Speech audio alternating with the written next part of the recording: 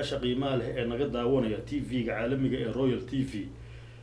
Waxaad ku soo dhawaataan barnaamij gaar ah oon ku wareysan doono hooyo soomaaliyeed oo muddo qarni in ka badan soo jirtay.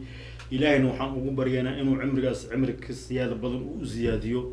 Haddaba hooyadaas ayaa waxay u soo joogtay waxyaabo badan oo ka soo dhacay soomaaliya ha noqoto dhinaca taariikhda dagaaladii ay soomaaliya soo gashay dhinaca dhaqanka iyo hiddahaba hooyadan iyada ayaa waxaa lagu magacaabaa faadumo sheekh cali waxayna nagu soo booqatay stuudiyaha royal t v xaruntiisa magaalada jidda. Hooyo faadumo marka ugu horeyso ku soo dhawow t v-ga caalamiga ee royal t v.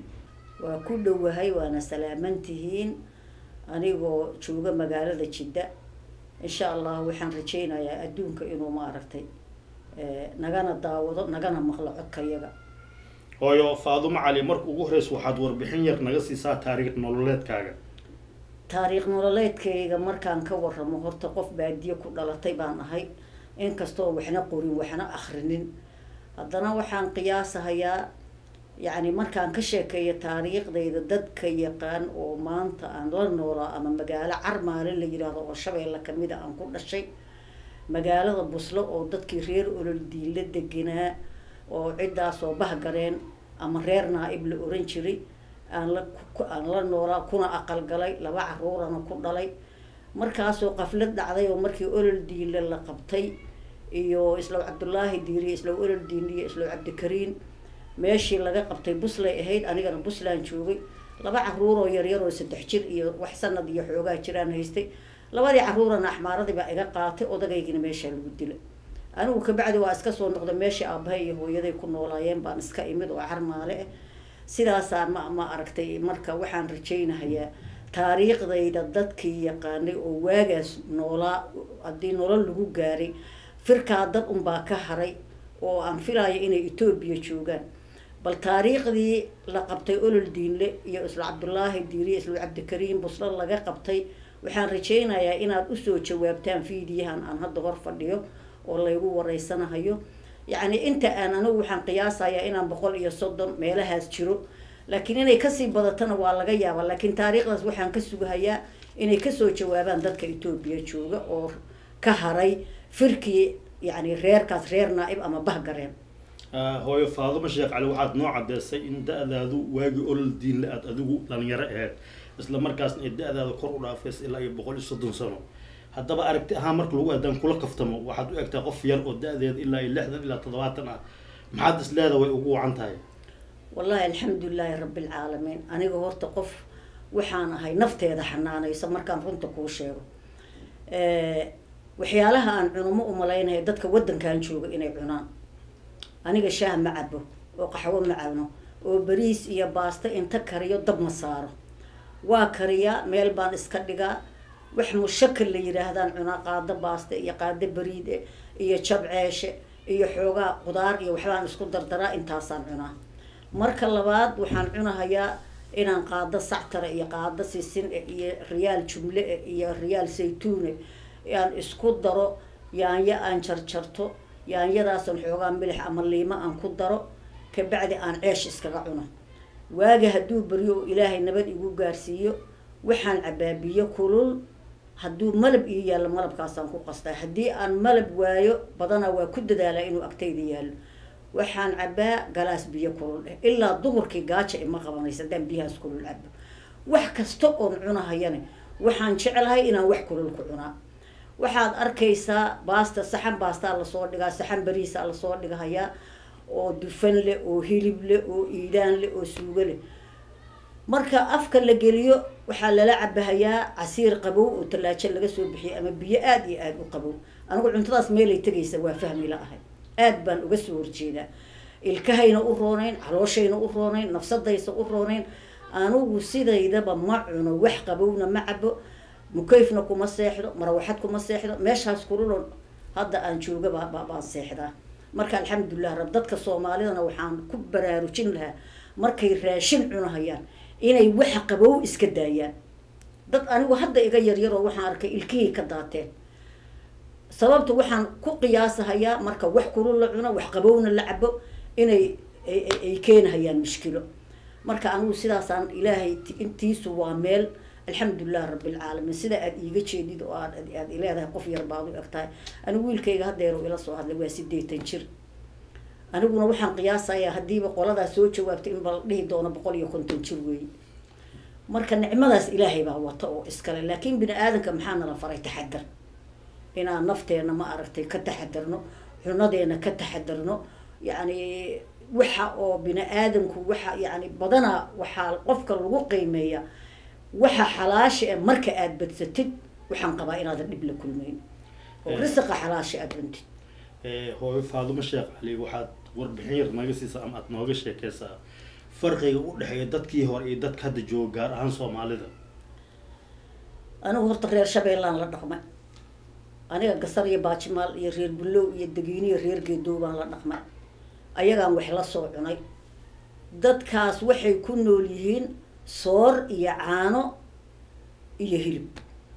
Hilibka dadkan hadda waddankan hilib caadi a lagama cuno suuqan baa maka hadda haddaad tagto waxaad arkaysaa yani naftaba kuuma qaadayso inaad u nafla caari u gadama ogi hilibka suuqaas yaallo. Laakiin dadkii hore wax habeen baryaba ma cuni jirin. Waxaa la cuni jiray cunto fareesh ah. Caafimaadku waa badnaa xoogu waa badnaa. Dadka hadday caawa dhargaan aroortii shaqaa loo baxayaa beer baa la falahayaa xoolaa la aroorinahayaa beeraha maxay ahayde bal baa la soo gurahayaa webigaasaan biyo ka dhaaminaynaa ashuumaan qaadanaynaa. Saqiir iyo kabiir waaga hadduu beryo waa la ordahayaa dadka hadda aan banaadir iyo anigu intaan wadamadaas imid aan ku arkay waxa weeye waxbaa layska cunahayaa waa la seexanahayaa duhurkiiba khaasatan hadda magaaladan jiddoon joogno. Wax subaxdii lix saac wax ka horreeya hurdo ka kacaya ama carruur ha lahaata ama yay lahaanin indhaha ma saaraysid. Dadkuna caafimaadkiisa kuma jiro inuu inta wax cuno seexdo. Wuxuu ku jiraa waxa dufanka badanna in layska ilaaliyo waxyaalaha maaragtay hilibkan badanna layska ilaaliyo. Aniga hadda hilibkayga haddaan ku tuso waa soo gadaa waa la ii jarjaraa kalaankal camal baan ka dhigaa saliidna kuma daro subagna kuma daro waan kariyaa markaan bisliya isaga la isku qaleeyaa bac ama baaqulan ku shubtaa talaajadaan geliya. Markaan wax cunaay laba saddexa baan kala soo baxaa waa iska qalalan yahay wax dufana ma laha. Laakiin haddii ma ma aragtay waxyaalaha qaarkood sida dadku isticmaal dad badan baa anugu arkay inkastoon xaafadaha tegtegin waxaad arkaysaa cunto foolla caqli ee saliidii ugu jirto oo la cunahayo. Waa la tegaa waa la seexanhaya intay tegay cuntadii marka. Meel lama tegaysa adiga jiraad ka qaadaysaa marka bini aadanka waxaan kula talin lahaa sida ummadii hore ay u dhaqmi jirtay. Haddii loo dhaqmahayo cuduradan iyo jirooyinkaa la naadinayo ma aanu aragneen sokor ma aanu aqoonin. Karastarol ma aanu aqoonin. Wax jiro aba horta dadka kuma dhici jirin. Qof dhintay waa la arki jira laakiin jirada hadda taalo soomaalida ma qabi jirin. Dad shaqaysto oo beerahoodii iyo badarkoodii iyo adduunyadooda tabcaday ahaayeen. Laakiin hadda adduunyo hadda xamar waxaa la iiga sheegahayaa naaga carruur lahoo dad inta u yimaadaan dharkoodaba aan dhaqa karin oo dharka loo dhaqo. Waxaas nolol miya. Anagu habeenkii ma seexan jirin ilmaha intaan markay seexseexdaan oo lugaha dhaqdaan oo buuggooda qalinkooda iskor saartaan baa waxaan dhihi ji baan inta dharka dhaqo oon dharka dhaqo baan bir dheer oo tanoo kale intaan bood iyo meel iyo ama kur saaro oon birji ka shido oo dhuxul badan ku shidoon duugo dhuxusha baan dharkaa hoostiisa dhigi jiray si ay beri subax ilmahaas u labistaan. Dad saas lagu soo koriyay baan anagu nahay annagana waa ku soo kornay ilmaha yagana waa ku soo kornay. Laakiin hadda naag inta ilma dhashay reer lahoo ninkeedii joogo oo sugaysa inta dhar aruuriso naag islaan meelaha marmarayso in lacag siiso ma ma gacmaha ila adahay ma curyaanba ma indhala ah waa qisada aan la yaabo aniga. Hooyo faadumo sheekh cali waxaan doonayaa inaan ku weydiiyo fikrad waxaa jirta odhanaysa dadka sokorta iyo dhigka qaba waddankan aada bay ugu badan yihiin. Marka qofka haddii uu baxo uu soomaaliya tago dadka badana waxay aaminsan yihiin in sokorta iyo dhiigkarka ay ka baxayaan. Haddaba adigu fikradaas ma qabta inkastoo waddankan wuxuu ugu badan yahay oo dad yaryar iyo dad waaweynba waxaad arkaysaa dad sokor iyo dhiikar iyo cholesterool qaba waxay ugu badan yihiin qabowna waa ku jiraan qabowna waa cabahayaan wax kulul iyo wax qabowna waa isku darahayaan. Laakiin dadka soomaaliya tago oo halkaa ka tago badanaa dadka horta oo beeraleyda ama magaalooyinka ma maaragtay aan mukeyfiyada lahayn oo beer dadka beera tabcada waxaa laga yaabaa dadka banaadir iyo reer beledka dhow joogo inay ka saxa fiican yihiin bay u dhowdahay laakiin dadka halkaan joogo dhibaatada haysato adigu nin rag ahaa tahay gurina waad leedahay. Laakiin anigu markaan dadka asxaabtayda ee dhex galay waxa la cunhaya saasaan u fiiriya intaan labada gacmood laabtaa iradaa waxaana waa cunaysiin casiir iyo biyo qabowna waa cabaysiin xaggee saliidii iyo cuntadii tegaysaa jirkaadii bay ku baaba-aysaa. Waad ku jir weliba inta la kacaa haddana la seexan haya ilaa wax la qabtaba lama hayo hooyo faadumo sheekh cali waxaad u soo joogtay waagii xoryadoonka iyadoon la socono in wadanka jarmalka lagu qeybsada waddamada afrikaanta iyadoo soomaaliya loo qeybiyey shan qeybood waagii horena soomaaliya la oran jiray soomaali weyn iyadoo koonfurta uu qaatay talyaaniga waqooyigan uu qaatay ingiriiska isla markaasna qaar ogaadenia la siiyey ethoobia inafdiidan gacanta loo geliyay wadanka kenya isla markaasna jabuuti uu la wareegay faransiiska. Haddaba maadaama soomaaliya ay midowday sanadka markuu kun iyo sagaal boqol lixdankii ayna isu tageen waqooyi koonfurta soomaaliya ay noqdeen jamhuuriyadda soomaaliya. Haddaba markay jamhuuriyadda soomaaliya ay noqonayeen dagaal baa loo soo galay. Arrintaas iyada ah maxaad nooga sheegi kartaa? Wallaahi haddaad arrintaas wax iga weydiiso xorriyadoonkii anu wax yar baan horta ku soo gaaray ethoobiyan ka imid. Aniga hooyadayna qallaafay ku dhimatay aabahayna shabeello ku dhintay. Xorriyadoonkaas dad xasaasiyad hayso oo habeenkii meelo ku shirshiro oo xorriyadoon eh waa ogaa aniga walow gobolka baay haddaad wax iga weydiiso uu ahaa dadka ka soo horjeedo xorriyadda. Kulubay dhabay bay dhihi jireen dadka xorriyadoonka ah ma ogolayn borotalyan baa la dhihi jiray. Dadkan koonfur joogo oo maxay ahayde iyo dad yaroo ama hargeysa ka yimid ama meelaha gobollada dhexe ka yimid inay xornimada diyaar u ahaayeen.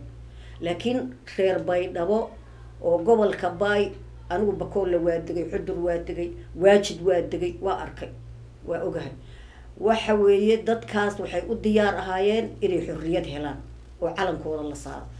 Waqooyi ingiriis baa haystay koonfurna talyaani baa haystay reer aalta jubbana waxay ahaayeen borotalyan oo ma ayna jeclayn in xorriyad la qaato saas ay tahay markii calanka la qaatay. Anigu waxaan joogay waxaan joogay meesha la yihahda cadaado baa laba wiil ku dhalay. Afar dukaan oo geed dhexdooda ku yaallo oo waxay ahayd caanaha lagu gado iyo afar makaayadood oo jidka ilaa gaalkacyo iyo xamar aado dhexdooda maro oo geeskaas ku yaallo baan anigu soo joogay. Haddana waxay u egtahay magaalo caasumada yaa ka dhigay dadkeedaa ka dhiga. Waayo dadka markuu is-abaabulo oo wax qabsado waxa weye meel buu gaarahayaa. Waqooyi iyo koonfur habeenkii laysku darahaya anigu waa joogay. Reer noorad oo socdo oo didahaya baa noo yimid waxay ka baqi jireen nimanka kawaanka joogo midiyaa haysto. Waa ka baqi jireen waayo iyagu kawaana waagaas ma lahay ma aqaan. Hadda hadday yeesheen miijisba iyo hilib oo meel maqaar lagu qaybsaday yaqiineen. Meeshaana kawaanaa la aadi jiray. Laba kumi baan gadan jirnay. Hal sana markay nala joogeen hilibkii waxaa nalooga dhigay maxay qaali baa nalooga dhigay. Waayo waxay cunahayaan reer koonfurka ma cuni jirin. Dad iska masaakiinaan ahayn oo laba kumi oo hilib iyo taano yaaye iyo kumi yaaye waxaas gato baanu ahayn alxamdulilah dad dad adigu waa lagu noolaa magaalada waa lagu dhaqnaa laakiin reer waqooyiga waxay ba aqaan lacagta meelay ka keeneen reer koonfurka lacag ma haysanin. Saas ay tahay dee shilinkiibaa wuxuu ahaa wax ciidaa ka badan iyo reer xaas ah ay ku noolaayeen.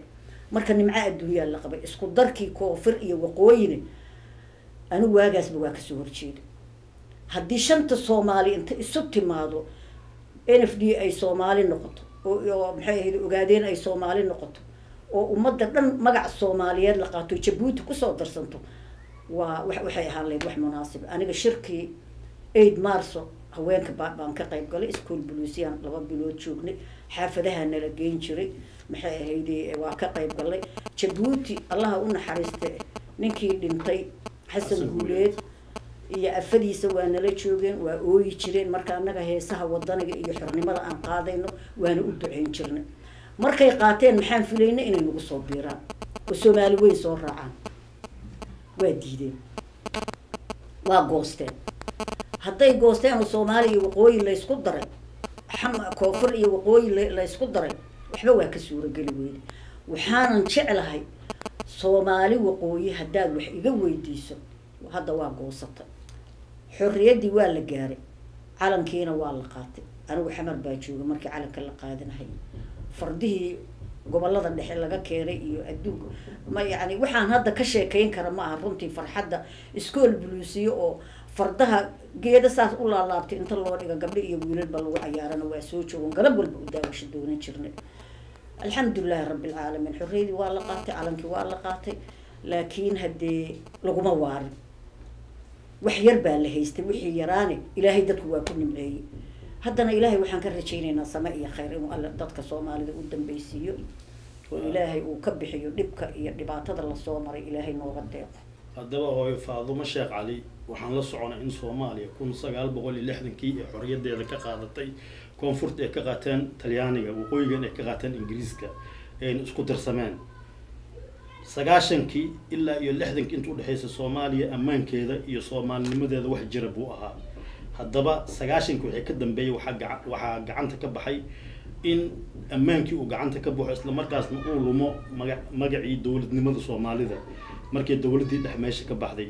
Haddaba sidee baad is leedahay soomaaliya way ku soo noqon kartaa berisamaadkii bismi illaahi raxmaan raxiim horta waxaan kuu sheegahayaa horta ilaahay anigu maalintuu kacaanka dhashayna walla weyn baan joogay alxamdulilah qof xaasib weliba xaamilo inaan ahaa baan u wiil hadda ingiriiska jooga inaan uurkiisa lahaa. Sidaas ay tahay anigu waxaan is leeyahay kacaankii dalka ka cortay oo dowladdii shibilka ahayd ka dambeeyey waxaan u arkahayay qofba caqli buu leeyahay ama ra'yi buu leeyahay ama tusaaluu leeyahay. Waxaan u arkahayay nin dalka nin muwaadin soomaaliyeed oo dalka iyo dadka daryeelkooda u taagan baan u arkahayay. Laakiin qof kasta oo bini aadan eh marka uu inuu wax sameeyo rabo waxaa ka hor imaanahaya waxyaalo badan oo mushkile ah. Maxamed siyaad barre allah u naxariista. Hadda waxaa la isweydiinaya talow maxamed siyaad barre yaa noo soo celiya aan inqilaab damba la samayna allow shariifka yaa noo dayin lahaa maanta tani ma joogneyn riwaayad baa jirta andersyoonka leegada ka galo la yiri anoo toban jiraa cishqiga itafaye haddaanan toogan tani ma joogteen. Waxaa weeye marka haddii qabiil wax tarahayo oo siyaad barre sidoo asaga uu wax ku waday dadka uu la dhash uu ka dhashay ama ummadda soomaaliyeed ay gacanta qaban lahayd ma filahayo in ma maaragtay dhibaato ay soomaali mudan lahayd. Laakiin waxaa dhacday dadkii uu ka dhashay oo soomaalida ahaa magaca soomaali sheegto asagu ka dhashay oo qoyskiisa ahaa inay koofiyad xaaliya kabadhii qalin u geliyeen oo mabda-ii asaga uu xagga u wadayba xagga loo maxaa jira? Soomaali waxay tiri duunyaa la ilaaliyaa dad lama ilaaliyo. Lama raaci kara dad. Kuwa aad dhashay ma raaci kartid adiga. Laakiin duunyaa la raacaa marka duunyadii ha la raacee siyaad barre anigu ma qabin. Dad baa eedeeya. Dad baa hade hadduusa xukunkaba uusa gacanta bini aadanka ka baxo ama madaxda mas'uuliyadda gacanteeda ka baxdo waxba fara laguma hayo anigu siyaad barre waxaan qabaa nin soomaali oo mawaadine inuu ahaa laakiin dhibka jira waxay ahayd beeshiisii baa hadlaysa. Hooyo faadumo sheekh cali waxaan la soconaa in waagii musuq maasuqa ama lixdankii wixii ka dambeeyey ilaa iyo lixdan sagaalkii in soomaali lagu tilmaamo inay haysato mabda antigoosiga. Lixdan iyo sagaashankiina soomaaliya waxay ku dhaqmaysa nidaamka hanti wadaagga ah. Haddaba soomaalida ayaa markii shirka lagu qabtay waddanka jarmalka ayaa soomaaliya keligeed waxaa loo qeybiyey shan qaybood. Wadamada galbeedkan weligoodna waxay ka shaqeynayaan sidii soomaaliya u kala jarjari lahaayeen. U baabi'i lahayd. Haddaba soomaalida maadaama ay yihiin dad isku af ah isku luqad ah isku diin ah isku midab ah haatan waxa ay soomaalida ay qaadatay nidaamka ah federaalka maadaama ay dadka soomaalida yihiin dad isku af ah isku diin ah isku dhaqan ah yani ma is leedahay nidaamkan federaalka soomaaliya way ku hagaagaysaa bismi illaahi raxmaan raxiim horta waxbaan kuu sheegahayaa. Waxaa weeye adduunyadu waxay ku socotaa mabda iyo mawaadin. Haddii mawaadin soomaaliyeed la waayo federaal ha la galo wax kasta oo la sheegay wax hagaagahaya horta ma jiraan waxaan anigu xasuusnahay toddobaatan iyo toddobad horta siyaad barre khalad uu galay waxaan ku dareemahay duulaanka etoobiya lagu qaaday anigu khalad kale uma hayo. Waxaa soomaalidana sideeda haddaa dib u fiirisa ama anigu gobollaan joogi jiray saraakiil baan la dhaqmay. Qof waxaan ahay bulsho ahoo ragga lagu guri anigoo aan lehay toban iyo laba qof saddex iyo toban qof oo yani hay'adaha dawladda u shaqeeyo nabad sugid laho boliis laho wax walba leh horta gurigayga ku noolaan jirtay. Meel kasta oon joogo xamar aan joogo gobollo aan joogo. Marka markaad ragga la dhaqanta siyaasad baad ka helaysaa waxyaalo badan baad ka disraysaa horta mawaadin soomaaliyeed anigu maba dhihi karo nin soomaali ah mawaadin toddobaatan iyo toddobadii markii odagayga dhintay oo gabar iga dhimatay oo wiil banaadir la soo galay. Waaga markuu baryo waxaa noo imaanhaya shaqaalihii isbitaalka. Wax shaah lagu kariya male digsi wax lagu kariya male maxaa dhacay? Xalaa laxday alaabti oo yaa dadkii ka shaqaynahayaa burta waa toddobaatan iyo toddobadii. Marka soomaali anigu haddaan fiiriyo oo dhex galay oo xagga u dayo oo xagga u dayo nin mawaadin soomaaliyeed horta maanta waa yaryahay dardaaran siyaad bare annagoo gobol joogna toddobaatan iyo toddobadii ol olihii noogu yimid wuxuu yiri wadankan waxaa u harahaya afmiishaar iyo iimaan laawo. Labadii baana hadda joogo waa xaqiiqtaas. Xalayna brofesor baan ka maqlahayay inuu lahaa. Maxay yidhi soomaalida soomaaliya waa dulaaliin xalay buu telefisyoonka lahaa. Runtii waxa weeye marka saqiir iyo kabiir horta mas'uuliyad dadka mas'uuliyadda hayo markay yani dasraan dadka inuu xaq ku leeyahy oo dalka xaq ku leeyahy oo ummadda in la sima ay rabto ummadda waa noolaanaysaa laakiin hadda waxaa dhacday ninkan hadda guddoomiyaha gobolka banaadir haysto waa hadlaa waxbuu sheegaa. Qof kasta oo ka yimaadan wuxuu ku leeyahy hadalkiisa afkaa iyo labada bishmood ma dhaafsano ummadii waa iska horkeenay nin walba guriguu lahaa waa laga qaatay. Nin walba booskuu lahaa baa laga qaatay. Waraaquu bixiyaa xafiiskiisa waxaa lagu leeyahay waxaa tuban dadan caqligaada gelin. Maxay u tuban yihiin waraaqihii uu bixiyay in looga jawaab mana looga jawaabayo marka inta ay soomaali sidaa ku jirto oo xaglintaa ku jirto oo dhibaatadaa ku jirto oo mas'uuliyiintii waddanka loo doortay ay kala daadsan yihiin oo soomaalinimadii dhammaatay oo marka dagaalkii etoobiya hataa la galay waxaa igu maqaalay niman saraakiil ah oo waddanka joogay oo ciidamada ka mid ahaa in laga helay bidaaqooyin xayla maryan kaga qaadan jireen mishaar. Laakiin nin etoobiyaan ah oo dawladda soomaaliya bidaaqa ka qaatay lama arag lama sheegin. Marka anigu waxaan leeyahay soomaalida nin mawaadina waa ku yaryahay ama ciidan ha ahaado ama wixii ha ahaado hadda dad baa ciidamo laga dhigay ciidamada dadka laga dhigay xaggee laga keenay. Waa kooxdii maxay ahayd cumar finish waa kooxdii maxay ahayd ii sheeg nimankii loorska ahayo nin intaasoo sano labaatan sano isbaaro wuxuu ka qaato ku noolaa maba noqon karo mawaadin taas waa wax la hubo. Askar baa labistoo dad laynaysaa askar dadka laynaysa waa kuwii isbaarada u tiilay goormay ka baxayaan. Marka soomaali anigu uma arko inay maanta mawaadin tahay oo dalkeedii iyo dadkeedii inay midayso ay u taagan tahay umaba arka ragga soomaalida oo soomaaliya jooga hooyo faadumo sheekh cali waxaad caddeysay in allah u naxariistay maxamed siyaad barre sanadka markuu ah kun sagaal boqol toddobaatan todobadii dagaalka uu ku qaaday etoobiya uu ku qaldanaa iyadoo siyaad barre markaas uu u taagnaa inuu isu keeno soomaali weyn ah saddexda maqan inuu ku soo daro labadii kale markaas ay xorta ahayd haddaba markaas ma waxaad ma waxaad leedahay uma bisleen inuu dagaalkaas galo. Iyadoon la socono in siyaad bare markaas iyo etoobiya markay dagaalamayeen etoobiyaanku soomaalida kaligeeda dagaalku laakiin etoobiyaanka ay la safnaayeen waddamada cuuba jarmalka bari yamanta cadan iyo wadamo kaloo badan sida maraykanka naftiisa wuu la safnaa ruushka oo markaas soomaaliya saaxiib la ah xataa etoobiya buu la safnaa.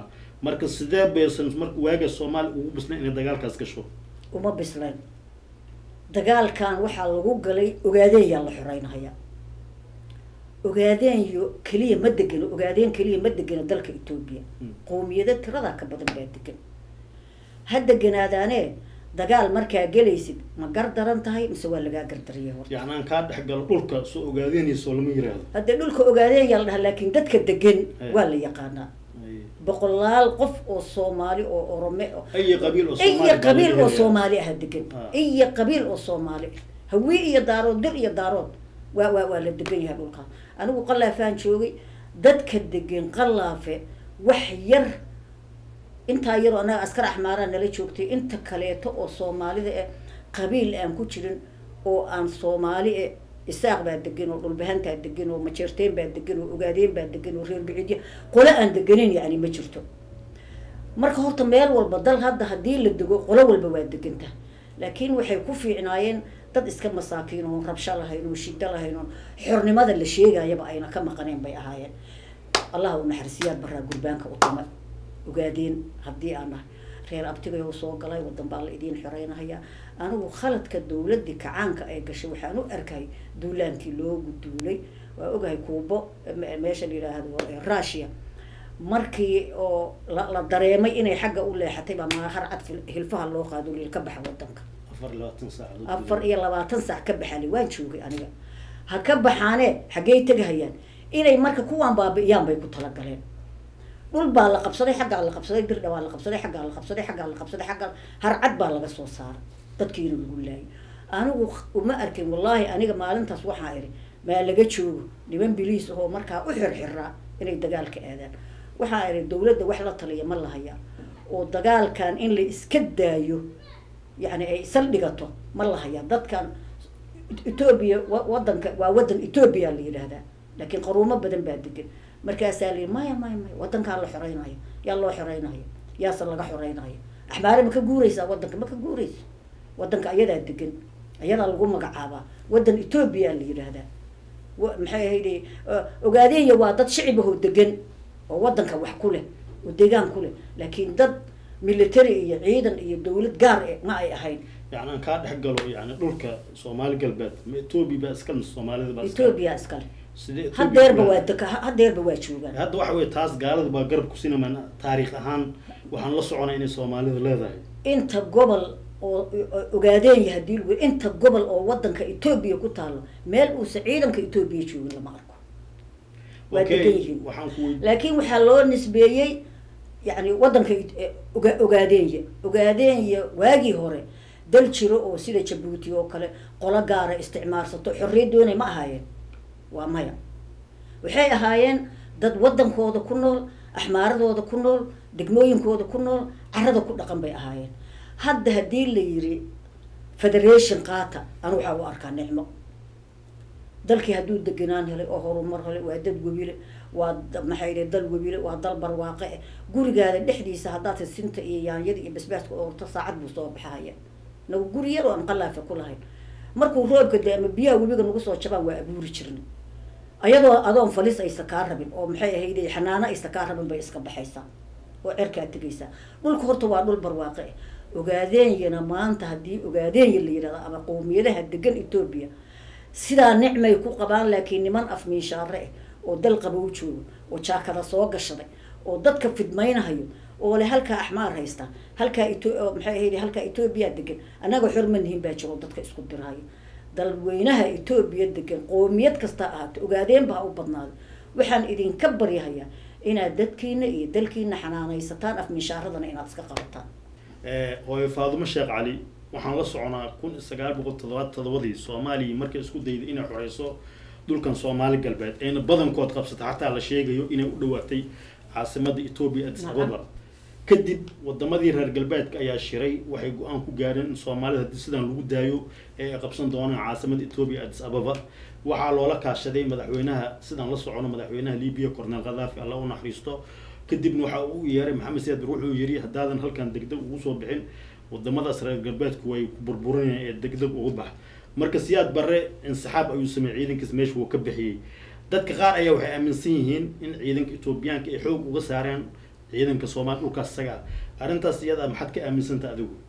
Arrintaas waxaan ka aaminsanahay dagaal axmaari iyo soomaali iskaga hor yimaadeen inaan soomaali lagu soo saaray.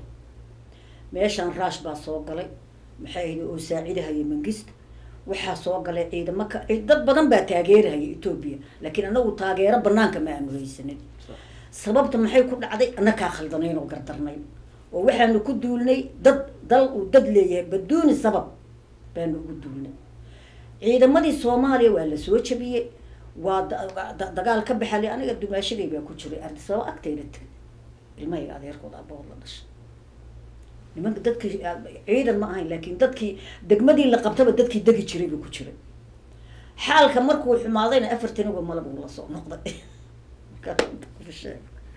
Marka dagaalkaas wuxuu ahaa daga anigu waxaaba u arkahaya ilaa maalintii la yiri adisabaa etoobiya lagu duulahaya.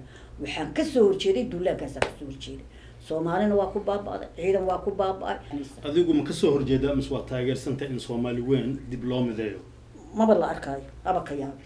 Maxaa diidaya waxaa diidahaya iska daa soomaali weyna dadkii koonfur joogay baan isku shaqo ahayn. Maxaa ka rabtaa soomaali weyn? Ma ogaadeen baa maanta inta xamar yimaado oranahaya xamar baan ku soo biiray. Jabuuti maalintay xornimada qaadatay annaga iskool buluusiyaan ku jirnay. Toddobaatan iyo toddobadii. Allah u naxariista ninkii dhintay iyo Guuleed iyo xasan guuleed wallahi saas u ooyi jireen markaasaa inta ilinta ka tirtirno anagoo taagan aan dhihi jirnay insha allah xornimaad gaaraysaan. Muqdisho iyo xamarna waa la mid eh, maxaa jabuuti iyo xamarna waa la midaynaa maalintay xornimada qaateen bay yireen kuwaana wax la raaca ma aha. Tartiibay u goosteen. Soomaalida kaloo imaanaysa maxay tahay marka? Tii ku soo darsantay oo lixdankii timid. Ma jirtaa hawaha ka qabin. Sooma shan soomaali inay inta isu timaado. La yiraahdo maxay ahayd caasimadii waa horta caasimad ma- anigu maba arka hadda muqdisho inay caasimad tahay runtii waa caasimadii muqdishay soomaali shanta soomaali iskugu imaanaysaa taa fikradaada ka go. Eh, maxaad ka oran lahayd doorashooyinka ka dhacaya puntland bishan janaayo bilowgeeda? Wallaahi anigu bilahaba lama socde eh laakiin waxaan kuu sheegahayaa puntland horta allah u naxariisto. Ciddaan anagu puntland ma dhahna puntland baan u bixinayba waaba puntland. Sababtu waxa weeye ninka markuu madax helo oo kursiga ku fadhiisto allana ma yaqaan bini aadanna ma yaqaano aniga ninka abtigay oo faroole waxaan kula talin lahaa. Hadduu maanta soomaalinimada ama wadanka uu joogo shan sano buu hadda xukun hay maalin dhaweyd buu lahaa kursi jacayl ma aha waxaan isu sharaxay maxaa isu sharaxdaa la yidhi? Shan sano baan geed dheer iyo geed gaabanba fuulay. Haddana waxaan rabaa buu yiri inaan intii qabyada iga ahayd inaan dhammaystiro. Marka waxa qabyadu waa la safiray hadalkii oo dhan saasaa laysu dabamariyey anna naftayda waxaan u arkaa waxa qabyada ku eh. Beeshi be- beeshiisii wixii uu ka ballan qaado uusa u kaamilin. Iyo xoogaagii qasnada ka dhinaa uu dhammaystiro. Shantaa sano hal jid hadda silaayo waa isdaba qabta jidad buu sameeyey mashruucyuu sameeyey laakiin faroole. Hal jid oo oo- oo uu puntland ka sameeyey oo lagu soo xasuusanahayaa ma jirto. Hadduu tala naga maqlahayan waxaan dhihi lahayn inuu yiraahdo war bal anigu waaba ka degay shan sanaan hayay ma layga raysan doonaa mise waa la ii darsan doonaa xilkiina waa dhiibay. Taasaa uga fiicnaa lahayd ugana sharaf badnaan lahayd asaga. Intay dadka isxagxaganahayaan intay maxay ahayd ummadda iska horkeenahayaan laakiin uma arko nimanka hataa qaylinahayo oo musharaxiinta ah oo nin waa hore wasiir ahaan jiray oo maxay ahayd boosaaso iyo meelahaas qarni iyo ka soo jeedo oo reer abtiga la sheegahayo. Wuxuu yidhi haddii lay doorto xaggaan dhisahaya xaggaan qabanhaya cirkaan soo dumin dhulkaan keenin dhulkana cirkaan ku callaqahaya waa been. Nin walba wuxuu rabaa xoogaaga fuudka kursiga u fadhiisanahayo nin soomaali u danaynhayo oo dal iyo dad u danaynhayo waa la waa. Puntland ha ahaato koonfur ha ahaato haba ka yaabi. Sidee u aragtaa go-itaanka ee go'aan somaliland ee ka go-day jamhuuriyadda soomaaliya? Iyadoon la socono sanadka markuu ah kun iyo sagaal boqol lixdankii lix iyo labaatankii juun in waqooyiga ay xorriyadooda ka qaateen gumaystihii ingiriiska. Kowdii luuliyana koonfurta ay xorriyadooda ka qaateen gumaystihii talyaaniga. Reer waqooyiga ayaa iyagoo calanka waxay yimaadeen muqdisho kadibna waxa ay samaysteen jamhuuriyadda soomaaliya. Haddaba iyaga oo dhibaatooyin badan tirsanaya ayaa haddana waxay dib ugu noqdeen ku biiritaanka ay ku biideen koonfurta oo waxay dhaheen annaga kaligeen baa ismaamulaya haddaba adig ahaan aragtidaada go-itaankaas sidee u aragtaa haddiise waxyaaba ay tabanayaan laga raaligeliyo maxaad kula talin lahayd madaxda somaliland? Allahuma salli calaa maxamed waxbaan kuu sheegahayaa horta soomaalile so- sooma waqooyi aniga ra'yi ahaantayda boqolkiiba boqol inay go'aan horta raalli baan ku ah maxaa ugu raalli noqotay somalilan adduunka horta ma aragtay mucaarad dawlad ka dambeeyo oo aan mucaarad madaxa loo taaga ma jiro adduunka al-aana waxaa la rushaynhayaa rushia waxay rushaynaysaa mucaaradkii jajeen diyaarado dabaabaad dadkoodii iyo dhul la gubo saa haddeer waa tii ka dhacday haddeer isbuucaanay ka dhacday. Somalilan ayagaa dalka qasay. Ayagaa duulaan soo sameeyey. Markay hadda hargeysa soo galeen. Hataa riyihii dadka kale lahaa waa googowraceen wax kale iska daayay puntland waagii la baabi'inahayay oo geedi baabow bay u bixiyeen dadkii reer koonfurka geedi baabow tabadihii subaga iyo adduunyadii iyo laqowraxay isaaq waxay ahaayeen dadkii lahaa war waar faqash baa halkan ku jira waar faqash baa ku jira al-aana iyagaa ganuuna ahaya waxaa li hasha geela waana cuntaa ayadaana cabaadaysa. Horta somalilan waxay ku fiican tahay oo ku wanaagsan tahay aniga ra'yigayga inayna soomaali weyn soo raacin. Hadday soo raacaanne ba horay sheeganhayaan hadday sii ba'ahayaan hawe lagama qabo. Inay go'aan raalli baan ka nahay waayo wax dad ayagaa dad nool nool eh. Runtii marka koonfur iyo waqooyi loo fiiri waqooyi waa dad nool nool. Ha iska cabaadaano ha qayliyaano waxay rabaan ha sheegaano. Laakiin koonfurta sida ay tahay ma aha waqooyiga kuwaan puntlandne hadday waxay rabaan sidii mukulaal iyo jiir hadda jiirkaa baqa ma aragtay? Hadda ma mukulaasha hadda cararta. Wallahi maalin wejidkaanaan maray. Dooli baa gurigaan ka meeshaan ka soo baxay. Saasuu ku yiri mukulaashii cararta. Adduun waa akharu saman mogta waagi horna waxaa la dhihi waxaan mukulaal iyo jiir miya. Magaceeda gurigii jiir lagu tilmaamo mukulaal baa la keeni jiray. Haddana mukulaashay cararaysa waa sidaas hadda in ma aragtay somalilan ay go-do puntlandne waxaan gardarro ku saarahayaa. Sidaan siyaadba raba duulaanka ugu saaray naxariistii janno allah siiya xuduudaha caalamka isticmaar baa sameeyey. Soomaali ma sameynin puntland iyo waqooyi iyo koonfur ama ingiriis ama talyaani ciddu doon ha sameeyo xuduud bay leeyihiin. Ayagaa xadkoodii ka talbaaday dhulbahantay raadin hayaan dhulbahantuhuna maba ahaba. Dad mabda' leh oo meel isu raacsan ma ah. Qolaa halkaan ku shirayso waxay leeyihiin puntland hana dhaafto. Maxay ahayd ammaan hana siiso. Faragelinta ha naga dayso qolo kalea halkaan ku furaysa waxay leedahay. Mid baan soo sharaxanay. Puntland saasa noo yeesho. Qolo kalea xag ku shiraysa puntland islaan hadday tahay ha naga joogto. Mid baa xag ku shirahayo waqooyi baan la heshin meel mabda ay haystaan dhulbahanta horta lama arko fidmadaasna waxaa aas aashaya faroole iyo intii ka horreysay oo ku soo dartay dhulbahante inay reer puntland yihiin dhulbahanta ma aha reer puntland waa somalilan waa reer waqooyi war mabda inay yeeshaan oy meel iskugu tagaan oy madax yeeshaan oy maamul yeeshaan maxaa u diiday dadka kama yaro dhulbahanta laakiin fidmada puntland baa wada kuwaan puntland baa wada fidmada laakiin waxba ka heli maayaan. Dadka in laysku diro ma aha waqooyi iyo waxay isku dirhayaan dhulbahante iyagiiba ka hadda haddii xilka laga qaado caawa hadda midka madaxweyne ku-xigeenka waa baxaya hargeysuu tagaya marduuf qaada iyo boqol dollar baa la siinhaya markaasu wuxuu ku soo duulhayaa puntland hadda ka hor bay dhacday laba jeer bay dhacday saddex bay dhacday. Ma kawaansanahayaan anigu waxaan dhihi lahaa hadday madax dhaqameed jiro hadday isima jiraan oo qoladan puntlandta sheegato inay iska daayaan dhulbahantaha oy faraha ka qaadaan oyna waxba ku darsanin. Walaalnimo iyo darisnimo iyo soomaalinimo waxay ku tari karaan inay ku taraan laakiin inaysan faraha gashanin. Oo soomalilayna iyaga ayna isku dirin anigu taasaan jeclaa hooyo faadumo sheekh cali waxaan la soconaa in shir goboleed uu ka socdo magaalada baydhabo kaasoo ay ku dhisayaan dowlad iyaga dowlad goboleed iyaga u gaar ah oo lagu magacaabo koonfur galbeed ee soomaaliya. Shirkaas ayaa waxaa ka qeybgeli lix gobol. Adiguse arrintaas see u aragtaa anigu arrintaas arrin yaab le ila noqotay baydhabo waxay leedahay degmooyin tiro badan. Ilaa xuduudka etoobiya ilaa gobolka bay ilaa buura kabo gobolka bay baa iskale wixii halkaa ka soo baxa uma arko inay ku ay ku yacni waa xilin filnahaar baa la yihahdaa riyo maalmeed weeye waxay ku riyoonayaan reer baydhabo kismaayaan leenahay gadaan leenahay markaan leenahay waa riyo maalmeed baan u arkaa hadday dadkaas soomaalinimada iyo insaannimada iyo bini-aadnimada tixgelinhayaan inta etoobiya ka sokayso degmooyin kuleey waa waajib waa xudur waa ma soo tirin karo bilda magaalooyinka anigu aan aqaano oo baydhabo madax u tahay. Intaa markay iyagu dowlad goboleed ka dhistaan soomaalida midka caabud waaq dego iyo midka puntland dego iyo midka xamar dego meeshuu rabuu degahaya? Baydhabo ha dego waajid ha dego hadda waajid yaa degan aniga adeerkay aabahay la dhashay baa wuxuu ka ahaa madax. Runtii markaan kuu sheego. Oo wax alla wixii oo dhulbahanta qole aan degnayn lama arka bakool. Qole aan degnayn oo magaca sheegata ogaadeen iska daa qolo kale iska daa. Dadkaas markay mideeyaan oo ayagu dowlad goboleed bay dhaba laga dhigo oo dowlad goboleedkaas ay dhistaan dalku waa hagaagahayaa.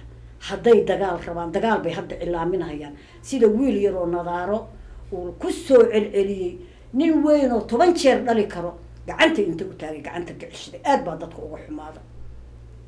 Fidal castaray iyo maxay ahayday aboma waxay ku heshiiyeen xabaashii maxay ahayday ii sheeg ninkii afrikaankaaga dhinta.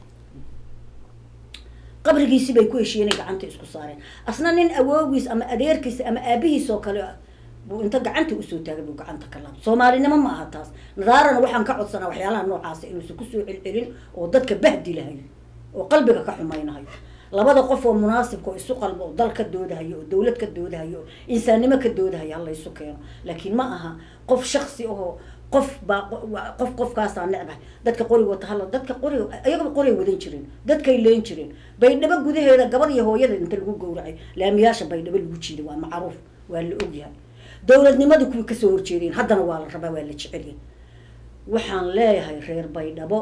Ciddii rabta ha idiin timaado. Caradu hadday nabad noqoto midka buuraha galgala degan baa soo guurahayo baydhabo imaanahayo ciddii idiin timaada ahlan wasahlan ciddaan idiin imaan baddooda ka baxa. Anigu taasaan kula talinhayaa gobolka baay inuu iska daayo fasahaadii fidmada uu dalka ka wado. Oo uu ku dagaalamahayo lix gobol baa isuka lix gobol adduunka intay ku arkahayaan. Soomaaliba kama dhisna kuwaa maxay ahayd gobollada dhexe dego oo reer puntland ah waxaan u sheegi lahaa oo yar keliya ma xamili karaan mas'uuliyad. Dad shaqaystana ma aha dad muruqmaala ma aha xoogooda ma isticmaalaan. Islaanaha waryartay oo gaalkacyaan ka imid lahayd waxay tiri naheedhe dadkiina koofir ka yimaado xoog xoog weyna bugdhe bugdhe bugdhe bugdhe bay wax ka siiyaan bay tiri. Ayadana haddaad aragtid intay la egta waad yaabaysaa cashan muruqmaal ma aha. Waa dad ma shaqaystayaal eh waa dad lagu soo koriyey ka ab ka ab kursi canshuur lagu qaado. Haddana waxay uay u gumurbaantumanahayaan oo ilmahooda rabaa inay kuriyaan kursi canshuur lagu qaado. Wax kaloo ay galaan male anu waxaan kula talin lahaa tala ma haysaane adeerkay xasan cawaale qaydiid oo galmudug madax ka eh inaad xilka reer puntland ku wareejisaan asagaa idiin tali lahaa. Waxaanan qabaa hal sano gudaheeda in laga bixi lahaa dhibaato oo dhan. Ugu dambeyntii hooyo faadumo sheekh cali waxaa tahay qof ay arag ah qarni ka badanna soo joogtay waxaadna aqoon leedaha taariikhda soomaalida iyo daay dhaqankeeda iyo caadaadka soomaalida. Ugu dambeyntii maxaad ugu baaqaysaa shacabka soomaaliyeed madaxweynaha dowladda federaalk ee soomaaliya profesor xasan sheekh iyo ra'iisul wasaare cusub ee dowladda federaalk ee soomaaliya cabdiweli sheekh axmed maxamed. Bismi illaahi araxmaan raxiim anigu waxaan ugu baaqahayaa horta soomaali weyn. Horta ilaahaygii ayaga khalqay oo soomaali magaca soomaali siiya horta inay ka baqaan oo ay ka xishoodaan oo ilaahay dartiisa loona xishoodo laysuna ictiraamo anigu waxaan qabaa maalintii xasan weel sheekh maxamuud la dooranahay nin geel jire oo reer baadiye ah oo weligiis magaalo imaan oo allana yaqaano geela caanihiisana yaqaano. Haddii la dooran lahaa sidaan inaysan dhici lahayn. Maxaa jira qofka inuu baqo xishoodo buu ku fiican yahay laba iyo labaatankii sano oo dhibka ka jiray xasan sheekh maxamuud xamar buu dhabacnaa waxa dhacahayo waxa laysdabamarinahayo adduunyada la qasahayo waxaasoo dhan buu ogaa. Ra'iisul wasaare hadda la casilay wax dembi oo lagu hayo ninkaa lagu casilay waa la waayay. Waaba lagu mudaaharaaday waaba lagu farxay farxad baaba looga horsoo horjeestay oo waa waxaa lagu ayiday. Xasan sheekh maxamuud nin raga weeye baarlamaankii waa ayidnay ra'iisul wasaarihii baa la eriyey dowlad weli waa waxaan adduunka ka dhicin oon la maqal. Qoladii xumaataha lagu mudaaharaado dowlad baa la casili lagu mudaaharaada hadda ka hor lama arko taasna waa qalad ninkan cusub waxaan leehay haddaad ilkaha sare meel soo dhigatane dowladda waad u shaqayn. Haddaad amarka iyo kooxda xasan maqashane waad socon. Haddii kale baarlamaanka lagu horgeyna berrina casilaad baa kuu taala meel. Taasaan anigu kula talinhaya soomaali weynna waxaan ka codsanhayaa inay bal dhibka inta daayaan oo mucaaradnimada daayaan ninkaan hadduu khaldan yahay ninkaan hadduu khal dadku waa khaldamay waa bini aadan ilaahay ma ah malaa'igna ma ah. Inay laysu keeno la yiraa ninkaan muxuu ku qalday waxaanu ku warniyo waxaanad ku qaldantay iska ceeb ma ah. Baarlamaankiibaa koox jawaari oo la islahaa waa nin soo ninkii soomaaliya loogu jeclaa baa maanta waxaa lagu tilmaamaya inuu koox yahay. Marka xaggee soomaali ka hagaagaysa baarlamaankiiba markuu sax koox yahay oo ninba nin jecel yahay oo ninkii hadlaba miina loo qasahayo ma hagaagayso. Laakiin waxaan leeyahay bal hala sabro siday noqon allaa oge xoogaaga yaroo dhiman siduu ku gaarayaba ilaahay baa geeri haddii laga fakado. Intaas isaga tabaabushihiisa iyo wuxuu ka tabcan lahaa iyo wuxuu ka faramaroojin lahaa ha sameeye. Laakiin xasan sheekh waxaan ka codsanaya inuu inta xishoodo ilaahayna ka baqo dadkiisa iyo darkii dadkiisana daryeelo ummadana dhugto ficilka iska daayo qofka hadduu xun yahay dad iyo soomaali baa lagu dhex jiraayo ha la arko ha yidhaahdo war qofkan waxaanu ku qaldaya ha la qabto ceeb ma ah anigu uma arka ceeb laakiin amar baan anigu soo rogeen hays casila ra'iisul wasaare. Xilka ha laga qaado wasaaradda waa xukun dictatori wey uma arko inuu maxay xukun soomaaliyeed marka xasaba waxaan ku leehay nin soomaali u midoobay haddaad taho soomaali taladeeda hayo inaad ilaahay inta ka cabsato ummadda u sabarto ummadda u dulqaato afkaada iyo uurkaada isma waafaqsanay afkaada iyo uurkaada iswaafaji markaad intaa iswaafajiso waxbaa kuu hagaagaya laakiin haddaad dictatorinimo iyo xoog iyo waddankaana madulood baa degan cid looga amar qaadanaya ma jirto. Kooxdayda qofkan ka amar qaadana waddanka ma joogahayo taas dhibaato unbay kugu abuureysaa dadku nin walba meel buu ka yimid waa iska tegahaya waan iska aadi doonaa. Alxamdulilah rabbi alcaalamiin ilaahay se same iyo khayr baan ka baryayna ugu dambeyntii waxaan halkan mahad gaar aan ugu celinaya hooyo faadumo sheekh cali oo naga ogolaatay in aan wareysigan aan ka sameyno islamarkaasna nagu soo booqatay stuudiyaha royal t v ee magaalada jidda iyadoo barnaamijkan uusan ahayn barnaamij dhowr daqiiqo lagu soo koobi karo oo u baahan yahay in barnaamijyo badan laga sameyo islamarkaasna waxaan diyaar u nahay qof alle qofkii taariikhda soomaaliya sidaan oo kale u hayo in aan qaabilno oon wareysyo sidaas oo kale aan la sameyno barnaamijkan isaga waxaa idinla socodsiinay anigoo ah maxamed xaaji qeybta cameradan waxaa inoo hayay maxamed qalbi qeybta farsamadana waxaa ka shaqaynayay saaxiibkay maxamed cabdalle jelani maycow tan iyo barnaamij kan la mid a intaan ku kulmi doono waxaa idinkaga tegaynaa sidaas iyo nabadgelyo